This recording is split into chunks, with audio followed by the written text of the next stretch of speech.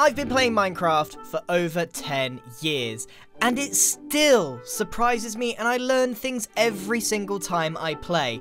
Here is what I've recently found out about Minecraft. I was recently taught about this super fast speed trick where you can run so fast!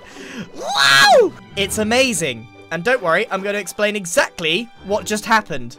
So, here's what you need. An Elytra, a pair of boots with Depth Strider 3 and Soul Speed 3, and dolphins.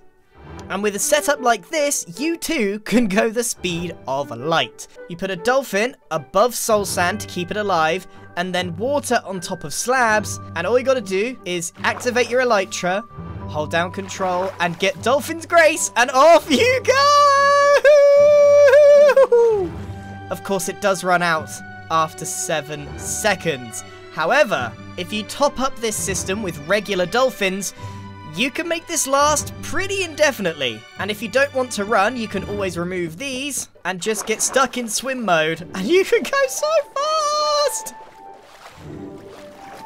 Yep, I hit I hit the end of the road. You could technically go indefinitely. Thank you to Etho for teaching me this one. And here's a very funny clip of the very first time Etho showed me this trick and just how excited I was.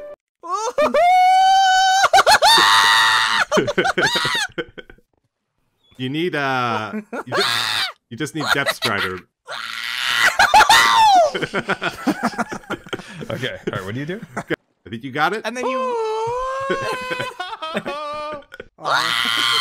I made the best noises there. I, I I'm disappointed, Cub, in your your R2D2 game. Scar, I'm That's what it is. Yeah, you sounded just like R2D2.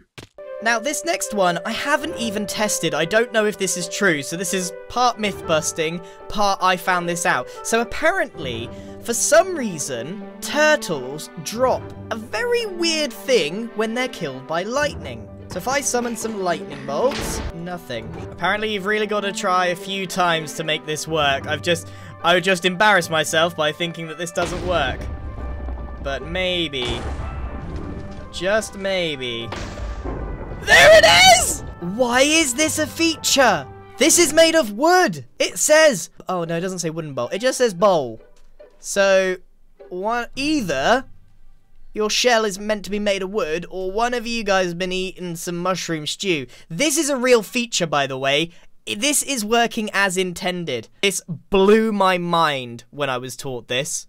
As you can tell, a conversation with Etho unravels a whole bunch of Minecraft weirdness, including redstone ore, which, if you can get some XP to sit on top of, as you can see, creates an incredible amount, oh my goodness, of animation particles. Now, for some reason, the XP activates the redstone ore's effect multiple times over and over again, and this increases with the amount of XP that you throw. So use this knowledge very carefully, because I believe you could probably make a client very, very laggy. Of course, the XP won't last forever, and oh man, it looks like it's on fire, but as soon as it comes off, the effect is lost.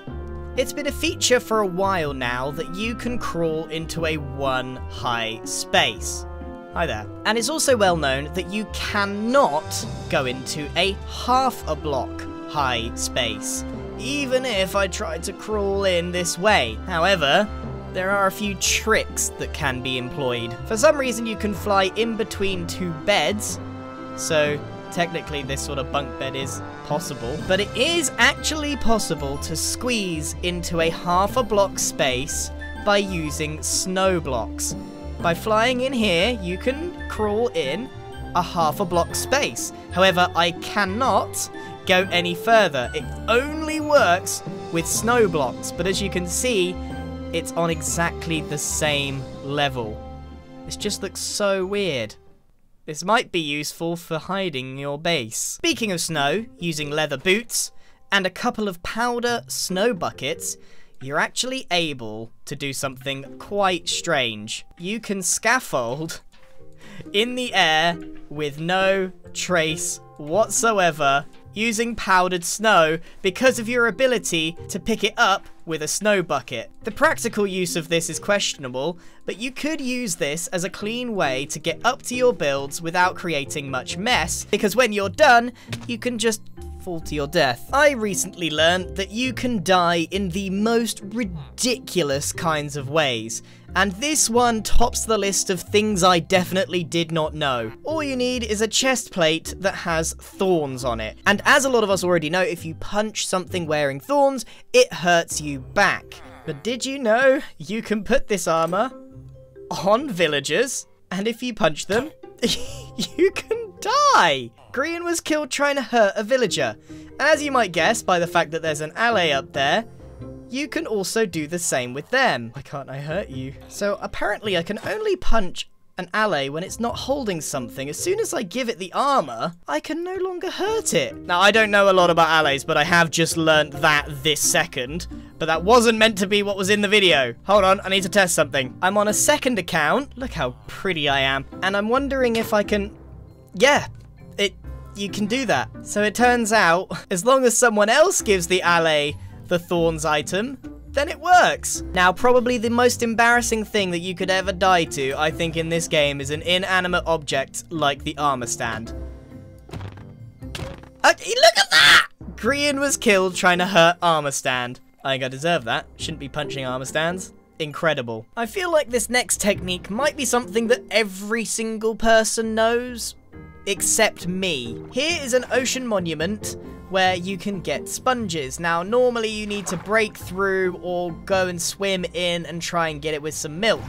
But Etho told me you can do it with just TNT and it doesn't matter if you have mining fatigue. Because all you gotta do is light the TNT, break some string underneath, and it actually damages underneath the water. The TNT sits inside. Oh, oh no. We'll try this again. The TNT sits inside the sand and not only does damage, but also breaks the blocks. So repeat this over and over again, and you can get yourself access to that all-important sponge. Another thing that you may not know, and I recently found out, is that there was an entirely unused potion called Potion of Luck. It looked like this, and if you drink it, it gives you green particles and gives you this lovely lucky symbol. This was never formally added to the game, hence why we needed a command, but what it's supposed to do is increase your luck in chests, although that doesn't seem to work at all based on this. In fact, I'd say it's almost the opposite. But still, it's something I learned. Now, I don't want to pretend that I'm an expert in Minecraft rabbits, but I did recently find out that there is a killer bunny that looks like, yeah, it's even named the killer bunny. I'm in creative mode, so it can't hurt me. But if I go into survival, oh yeah, yeah, he's he even made a noise. Oh, no, no, no! And something else I'd learn is that you can rename bunnies to toast to change the way that they look. But of course, if you re if you rename the killer bunny, he still goes for you. I really wish that this was in vanilla Minecraft. Many of us may have actually seen a flying squid in their time in Minecraft, but I've just learnt why, and it's been a conundrum for quite some time. Now, squids are one of the few mobs that actually ignore the effects of a bubble column, where it pushes you to the top, like so. You see, they don't get pushed up. However, if we step out, the game still thinks that they're flying, and eventually we start seeing something very strange. There's definitely some miscommunication between the game's code and what we actually end up seeing. Is there something you can teach me in Minecraft? Go into the comments and leave your obscure Minecraft facts, and if you feel like it, subscribe.